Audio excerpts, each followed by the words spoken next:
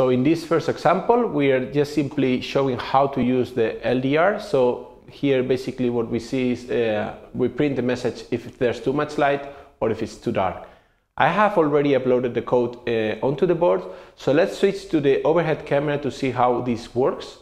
So this is the board and this is just a box that I use because the conditions here we have in the studio, there's too much light.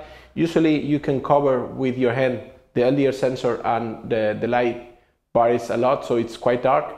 But because of the light we have here in the studio, I prefer to use this box. Okay, so uh, let's switch to the, the, um, the console and to see how this works, okay? So right now, as you can see here, we are measuring too much light. We are receiving a message of too much light. I can actually clear the, the console and you see that we are receiving this message.